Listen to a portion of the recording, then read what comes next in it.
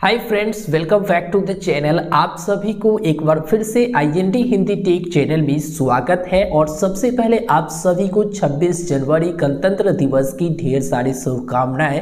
और बताओ, जिलेबी वगैरह हो गया, ज़रूर खाइएगा।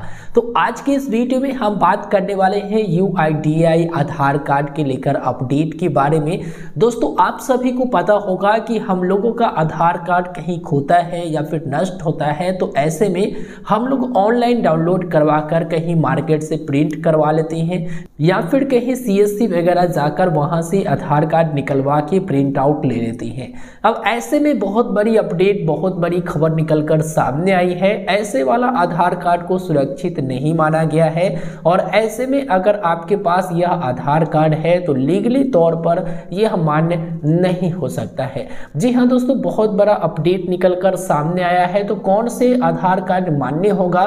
तो जो आप रीप्रिंट करवाते हैं ऑफिशियल आप लोग वेबसाइट के मदद से रीप्रिंट करते हैं और यू की तरफ़ से जो भेजा जाता है ओरिजिनल वाला, वह मान्य होगा और वह सेफ़ रहेगा। इसके साथ ही जो पीवीसी कार्ड है, आप सभी को पता होगा कि पीवीसी कार्ड की पचास रुपया देना होता है, तब यू की तरफ़ से आपके घर पे आपके हाथों में पीवीसी आधार कार्ड मिल पाती हैं। अब ऐसे में काफ़ी सारे लोग करते क्या है, बीस पच्चीस रुपया बचाने के चक्कर में मार्केट से प्लास्टिक वाला आधार कार्ड निकलवा लेती हैं कार्ड पर प्रिंट करवा लेती हैं। अब इस चीज़ को भी सेफ़ नहीं माना गया है और ऐसे में आप लोगों से निवेदन है कि आप इन सभी चक्करों में ना पड़ के भाई इंस्टेंट अगर काम है तो ऐसे में तो आप लगा ही सकते हैं, जैसे फ़ोटो कॉपी वगैरह लगाते हैं। लेकिन कोशिश करिए ये कि अगर आपका आधार कार्ड खो गया है, चोरी हो गया है, नष्ट हो गया है तो आप कोशिश करिए बीस पच्चीस रुपया ज़्यादा ही लगेगा, कोई दिक्कत नहीं है।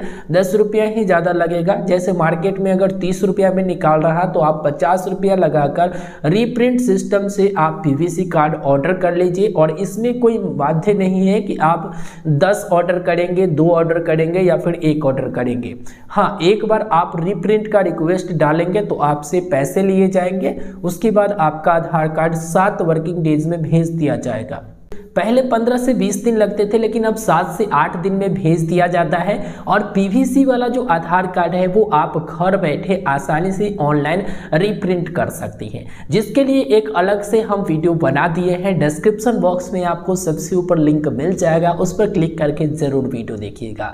तो इस वीडियो में हमने अपडेट दे दिया है। आप लोग वीडियो के नीचे कमेंट करके बताइए कि आपके पास जो आधार कार्ड है, क्या ऑफिशियल बाई पोस्ट भेजा गया है, या फिर आपने मार्केट से करवा के रखा है। मैं अपना बताऊँ तो मेरे पास पीवीसी वाला भी है और रीप्रिंट किया हुआ आधार कार्ड भी है, जिसके लिए तीस रुपया देना पड़ता था। वो मेरे पास पहले से ही शुरुआत में ही जब फ्री में आया था, उस समय से ही मेरा वह आधार कार्ड है और पचास रुपया लगाकर मैंने पीवीसी कार्ड अप्लाई किया था ऑर्डर किया था, वो मुझे मिल चुका है। तो ज़रूर देखिएगा, इस वीडियो के डिस्क्रिप्शन बॉक्स में लिंक है और इस पर 2022 का प्रोसेस बिल्कुल सेम ही है। आप सभी से निवेदन है कि ट्रिकी गौतम चैनल को सब्सक्राइब ज़रूर कर लीजिएगा, क्योंकि उस पर योजनाओं से जुड़ी आधार कार्ड, पैन कार्ड से संबंधित जानकारी ही आप लोगों को मिल पाती है। तो ज़रूर सब्सक्राइब करिएगा डिस्क्रिप्शन बॉक्स में सबसे ऊपर लिंक है। तो मिलते हैं फिर एक नए वीडियो में। हमें दीजिए इजाज़त। छोटा सा वीडियो था, लेकिन इन्फॉर्मेटिव था। अनसिक्योर माना जा रहा ऐसे में आधार कार्ड तो सुरक्षित आधार कार्ड को मंगवाइए घर पे, क्योंकि 10-20 रुपया कहीं कोई बड़ी चीज़ नहीं है। एक सुरक्षित हो जाएगा और बढ़िया आधार कार्ड भी आती है क्वालिटी वाला, ठीक है?